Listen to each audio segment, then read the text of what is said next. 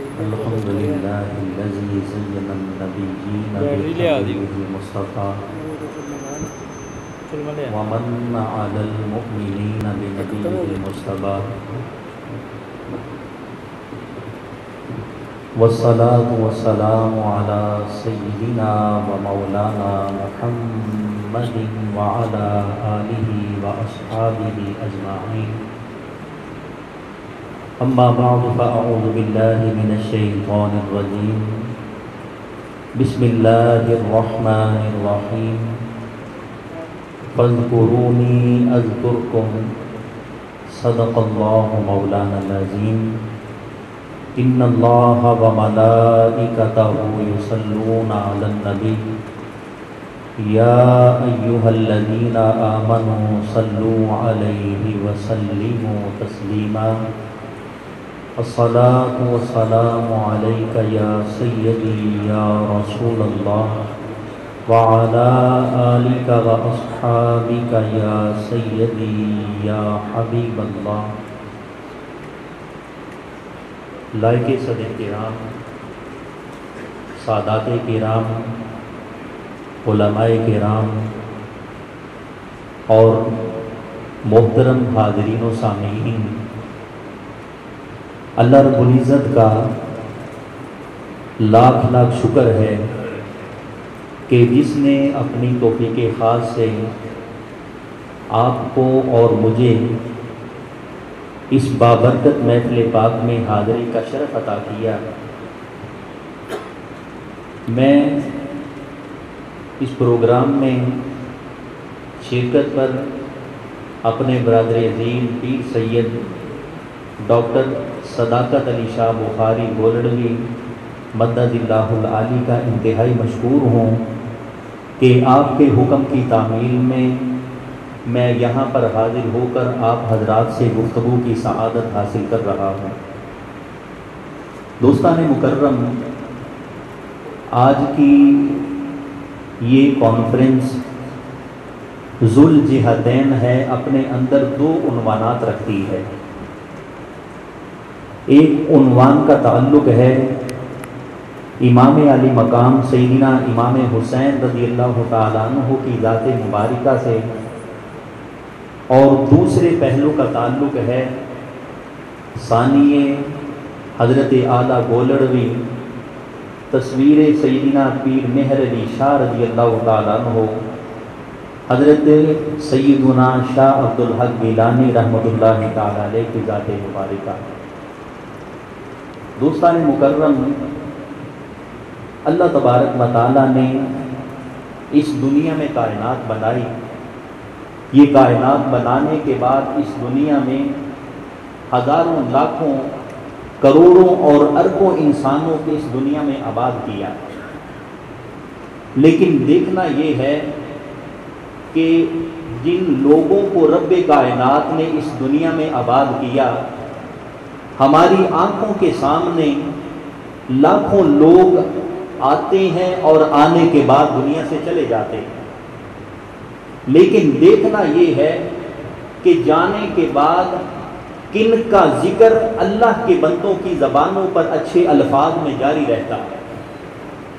जो आयत मुबारक तिलावत हुई है, इसमें अल्लाह तबारक वाली ने अपनी बारगाह के मजबूर बनने का हमें नुस्खा कीमिया अदा किया फरमाया कि, ए बंदे फज कुरूनी अज कुम तू मुझे याद किया कर, मैं तुझे याद करूँगा अब देखिए कि ये सौदा तो दस्त बदस्त है कि हम अपने मौला को याद करेंगे और हमारा मौला हमें याद करेगा।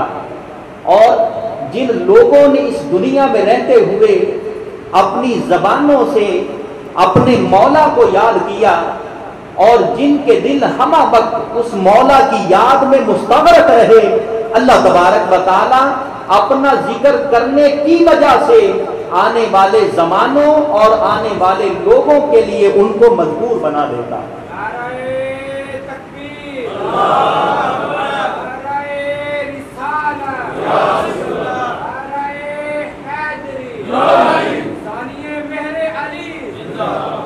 आस्थाना आलिया गोड़ा शीफ आस्थाना आलिया गोड़ा शीफ हज़रत किबला कासिम शाह साहब मदजिल्लाली हज़रत की करामात के हवाले से गुफ्तु फरमा रहे थे। तो मैं एक बात अर्ज़ करता जाऊँ कि हज़रत दुआ तो हर किसी को देते थे और मेरा इस बात पर ईमान है कि हुजूर तस्वीर मेहर अली दुआ जिसको देते थे, फकत जबान से नहीं, बल्कि दिल से दिया करते थे।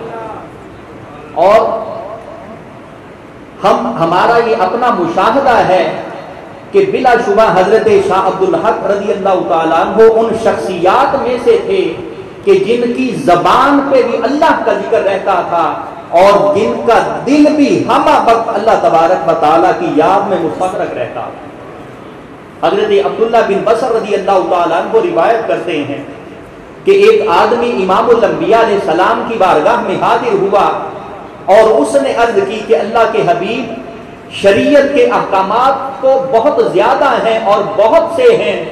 अल्लाह के हबीब, आप मुझे कोई एक चीज़ बता दीजिए कि जिसको मैं अपना वजीफा और अपना मामूल बना लूँ और ज़िंदगी पर आपकी उस नसीहत पर अमल पैरा रहूँ। इमाम ने फरमाया कि ला यजालु लिसानु का रतबम मिन जिक्रिल्लाह। फरमाया कि अगर अल्लाह के महबूब से एक चीज़ पूछना चाहता है, फरमाया कि वो ये है कि हम वक्त तेरी जबान अल्लाह तबारक ताला के ज़िक्र से कर रहे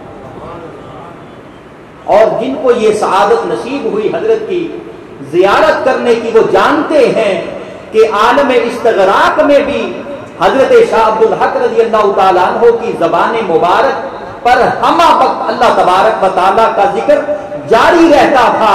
और हमने खुद मुशाहदा किया कि आपकी आँखें बंद हुआ करती थी और मुसलसल आपके लब मुबारक हिला करते थे।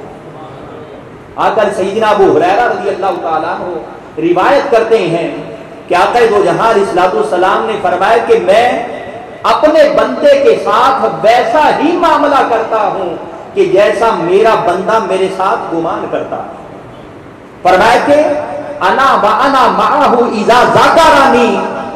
कि मेरा बंदा जब मुझे याद करता है, मैं अपने उस बंदे के साथ होता।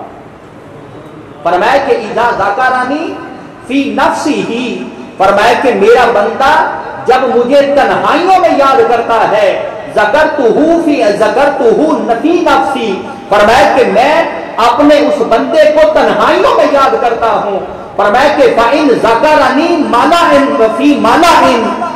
अगर मेरा बंदा मुझे मजमा में याद करता है, मेरी मखलूक में याद करता है, फरमाया जकर तू फ़ी माला इन खैर हो फरमाया कि मैं उस बंदे का ज़िक्र इंसानों से बेहतर तबके, गुनाहों से मासूम फरिश्तों के अंदर अपने उस बंदे का ज़िक्र फरमाता।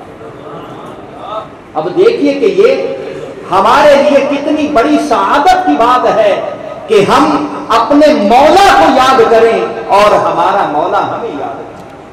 हजूर सईदिना तिबला आलम, रईसुल मुजद्दीन इमामुल मुतकल्लिमीन, सईदिना पीर मेहर शाह रज़ी अल्लाह हो हज़रत बाबा फरीदुद्दीन गंजे शकर रज़ी अल्लाह हो के उस मुबारक पर गया तो वहाँ पर किसी ने सवाल किया कि हज़रत ये लोग क्या हक फरीद या फरीद के नारे लगाते हैं। अब इसकी कुरान में कहाँ पर दलील है? अब अल्लाह ने आपको रईसुल मुजद्दीन बनाया है, इमामुल मुतकल्लिमीन बनाया है। फरमाया कि कुरान में अल्लाह तबारक बताला बाबा साहब का ज़िक्र फरमाता है। फरमाया कि तुम तो लोगों पर इतराज करते हो और मेरा विजदान ये कहता है कि इस वक्त अल्लाह तबारक बताला भी या फरीद या फरीद कह रहा है। ने कहा कि हज़रत, आपने ये बड़ी अजीब बात कर दी कि इनको तो ये चाहिए था कि अल्लाह का ज़िक्र करते, ये अपने मौला को भूल कर या फरीद या फरीद कहते हैं। हज़रत किबला आलम फरमाने लगे फरमाया कि अल्लाह कुरान में कहता है कि फज कुरूनी अद कुरकुम ए मेरे बंदे, तू मुझे याद कर, मैं तुझे याद करूँगा। फरमाया कि हज़रत बाबा साहब रज़ी अल्लाह हो दुनिया में अपने मौला को याद करते रहे। आज उनका मौला मखलूक इस खुदा की जबान पर अपने अपने फरीद को याद करवाना तो ये अल्लाह तबारक का अपने महबूबों पर अपने कामिलीन पर इनाम हुआ करता है कि जो उस मौला को याद करते हैं उसका ज़िक्र करते हैं। तो दोस्तान मुकर्रम फिर एक वक्त ऐसा आता है कि जब अल्लाह तबारक बताला उनको अपना मजबूर बना लेता और जिसको रब ताला मजबूर बना ले, फिर रब कायनात उसका ज़िक्र सिर्फ़ दुनिया में ही नहीं, बल्कि आसमानों में भी उसके ज़िक्र को बुलंद करता। सईदना अबू हुरैरा रज़ी अल्लाह तु रिवायत करते हैं। क्या था वो? जहाँ सलाम ने इरशाद फरमाया इदा अहब्बल्लाहुल नादा जिब्रील। फरमाया कि जब अल्लाह अपने किसी बंदे के साथ मोहब्बत फरमाता है। और हुक्म देता है, नादा जिबरील जिबरील को बुलाता है और फरमाता है कि, या जिबरीलू इन फुलानन जिबरील अल्लाह तबारक व इस बंदे के साथ मोहब्बत फरमाता है, लिहाजा तू भी इसके साथ मोहब्बत किया कर। इमाम ने फरमाया कि फिर अल्लाह तबारक व ताला का मुकर्रब फरिश्ता जिबरील उस मौला के बंदे से और उस मजकूर से कि जिसका ज़िक्र रब कायनात अपनी जान, अपनी शान के लायक फरमाता है, उसके साथ सईदिना जबरील अमीर सलाम मोहब्बत फरमाते फिर जबरील अर्ज़ करते हैं कि मौला, मैंने तो मोहब्बत फरमा ली, अब मेरे लिए क्या हुक्म है? तो आकर सलाम ने फरमाया कि फायुनादी जबरील फ़ी आहली समा, कि जबरील जाकर आसमानी मखलूक में ऐलान करो इन फरमाए कि बेशक अल्लाह इस बंदे के साथ मोहब्बत फरमाता है, लिहाजा ए आसमान वालो, तुम भी इस बंदे के साथ मोहब्बत किया करो। आका सलाम ने फरमाया कि फयुहिबहू समाई फरमाए कि फिर अल्लाह तबारक बताला की तमाम आसमानी मखलूक उस बंदे के साथ मोहब्बत फरमाती अब जब आसमानी मखलूक मोहब्बत फरमा लेती है तो फिर जिबरील अर्ज़ करते हैं कि मौला, क्या हुक्म है? फरमाए कि सुम लहुल कबूल फिल अर्द फिर रब कायनात की बारगाह से आवाज़ आती है, हुक्म होता है। फरमाए कि अब इस बंदे की मोहब्बत ज़मीन पर उतर जाओ और उतरने के बाद लोगों के दिलों में उतारो।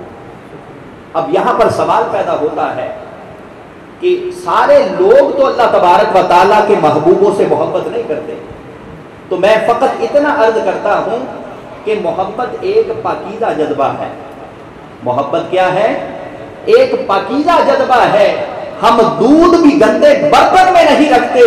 और उस मौला की मोहब्बत तो दूध से ज़्यादा पकीदा है। उस मौला के मुकर्रब बंदों की मोहब्बत नापाक दिलों में कैसे आ सकती है?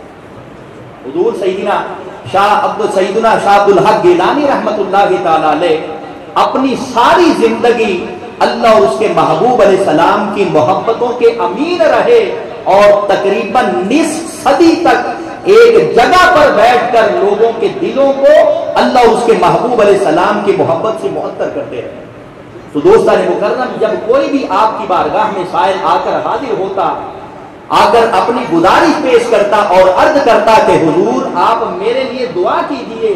अब दुआ करने को आप दुआ फरमा देते लेकिन जो खानबाता से इसका आस्थाने से मुंसलिक लोग हैं, वो जानते हैं कि हज़रत शाह अब्दुल हक रज़ी अल्लाह हो यूँ नहीं दुआ फरमाया करते। अब आपका मामूल और तरीका ये था कि अपने दादा सईदिना इमाम जाफ़र सादिक रज़ी अल्लाह हो की सुन्नत पर अमल करते हुए, जब कोई दुआ के लिए कहता, आप फरमाया करते थे कि संगियों, सारे संगी मिलकर इस बंदे की दुआ की कबूलियत के लिए अल्लाह के हजूर इंतज़ार करते। अब आप हाथ उठाते और जिसके लिए आप हाथ उठा देते, वो बंदा जानता था कि अब हज़रत ने मेरे लिए हाथ उठा दिए हैं। अब ये वो शख्सियत है कि जिनकी दुआ को अल्लाह तबारक बताला ज़रूर कबूल फरमाए। और हज़रत शाह अब्दुल हक गिलानी रहमत की बारगाह में एक शेर अर्ज़ करता हूँ कि तस्वुर में जो उनकी दिल रुबा तस्वीर खिंचती है तस्वुर में जो उनकी दिल रुबा तस्वीर खिंचती है, बलादे मारिफत में हज़रत शाह जीला याद आते कि आपको काशी में फैजान गौसुल आज़म भी कहा जाता है, और सईदना शाह अब्दुल हक गिलानी ताला हज़रत सरापा करामत ही करामत थे। अब जैसे शाह साहब ने अपनी हयात का एक वाक्य पेश किया। ज़िंदगी का एक ही करामत आपकी पेश करता हूँ दो हज़ार सत्रह पंद्रह जुलाई की बात है, कि मेरा एमफिल का थीसिस उस दिन जमा होना था। अब हुआ यूँ कि चौदह जुलाई को मैं रात तकरीबन अढ़ाई बजे तक कंपोजर के पास बैठा रहा। सुबह कॉलेज की मसरूफियात की कॉलेज चला गया। ग्यारह बजे वहाँ से छुट्टी देकर कंपोजर के पास चला आया। अब वक्त था दो बजे का थीसिस के जमा होने का। अब मैं बड़ा परेशान था कि अगर आज थीसिस जमा ना हुआ तो पता नहीं क्या बनेगा। तो इसी दौरान दोस्ता मुकर्रम मेरे दिल में ख्याल पैदा हुआ कि क्यों ना मैं अल्लाह के महबूब की सुन्नत पर अमल करते हुए कि आका ने फरमाया कि आईनूनी या इबादिल्लाहिन फरमाया कि जब रास्ते बंद हो जाए तुम्हें, कोई रास्ता नज़र ना आए फरमाया कि अल्लाह के बंदों को मदद के लिए पुकारो, अल्लाह के बंदे ज़रूर मदद फरमाते। तो मैंने हज़रत शाह अब्दुल हक गिलानी रज़ी अल्लाह तु के खादम खास महमूद अहमद साहब को मैंने कॉल की और मैंने अर्ज़ किया, पीछे से मेरे सुपरवाइजर की मुझे कॉल आ गई, कहने लगा कि शफात साहब, अगर आपने थीसी जमा करवाना है तो ठीक है मैं जमा करवाना है तो अभी आ जाए, अगर जमा नहीं करवाना तो मैं अपने घर जा रहा हूँ। अब देखिए, हज़रत शाह साहब जानते हैं कि यूनिवर्सिटी के प्रोफेसर का जो दिमाग है, वो कहाँ तक पहुँचा होता है? मैं खैर शदीद परेशानी के आलम में था। मैंने महमूद अहमद साहब को कॉल की और मैंने अर्ज़ की कि मेरा आज थीसिस जमा होना था, आखिरी तारीख लास्ट डेट थी, और लेकिन अभी जो थीसिस है, वो तकमीली मराहल में है, मुकम्मल नहीं हो सका। ऊपर से सुपरवाइजर की भी कॉल आ चुकी है, वो कहने लगा है कि आना है तो आ जाओ, लेकिन मैं तो अपने घर वरना मैं तो अपने घर जा रहा। दोस्ता ने मुकर्रम, अब कॉल करने की देर थी कि इंसान को जो सुरूर हज़रत की जियारत करने से हासिल होता है, वही कैफियत उस वक्त मुझ पर तारी हो गई। अब ये कैफियत तारी होने की देर थी कि मेरे दिल के जमीर के अंदर से आवाज़ आने लगी कि शफात, परेशान मत होना। अब तेरी बारगाह अब तेरी इल्तिजा बारगाह गोलना में पहुँच चुकी है। अब दुनिया इधर की उधर तो हो सकती है, लेकिन तेरा थीसिस रिजेक्ट नहीं हो सकता। दोस्ता ने मुकर्रम सुपरवाइजर साहब चले गए, लेकिन जाते जाते कह कर गए कि शफात अली सजाद आएगा। जो मर्ज़ी हो जाए, उसका थीसिस आज तुमने ज़रूर जमा करना तो हज़रत शाह अब्दुल हक रज़ी अल्लाह हो उन अजीम शख्सियात में से हैं कि जिनके ज़िक्र को अल्लाह तबारक वाली ने दुनिया में ही बुलंद किया और जब कयामत का दिन आएगा रब कायनात के महबूब सलाम ने फरमाया कि अलमर महामन अहब्बा फरमाए के बंदे, तू दुनिया में जिसके साथ मोहब्बत किया करता था फरमाए कि आज तुझे उसी के साथ उठाया जाएगा। मैं इस यकीन के साथ अपनी गुफ्तगु का इख्तिताम करता हूँ कि कल कयामत के दिन जब रब कायनात की बारगाह में पेश होंगे तो हमारे इमाम और पेशवा तो अगरचे बहुत से हैं और होंगे, क्योंकि हम आहले सुन्नत आहले निस्बत हैं। लेकिन हमारी रब कायनात की बारगाह में यही इल्तिजा है कि जिस तरह आज हम उसके महबूब बंदे, हज़रत शाह अब्दुल हक रज़ी अल्लाह के ज़िक्र पाक की मजलिस सजाए बैठे हैं अल्लाह तबारक बताला उन्हीं की कयादत में कल कयामत के दिन हमें जन्नत में दाखिला बकौल आगा शोरश कश्मीरी के खड़ा हूँ मेहरे अली शाह के आस्थाने पर। खड़ा हूँ मेहरे अली शाह के आस्थाने पर। इन्हीं के दर की बदौलत तो बामकाम हूँ मैं अल्लाह करीम की बारगाह में दुआ है कि हमें हमेशा दुनिया में अपने साले और नेक बंदों की सोहबत और संगत के साथ वाबस्ता रहे, रखें। और जिस मसल के अजीम की हज़रत आला गोलवी रहमत ने हमें तलकीन की है, हमें हमेशा उन्हीं तालीमत के साथ वाबस्ता रखें। वमा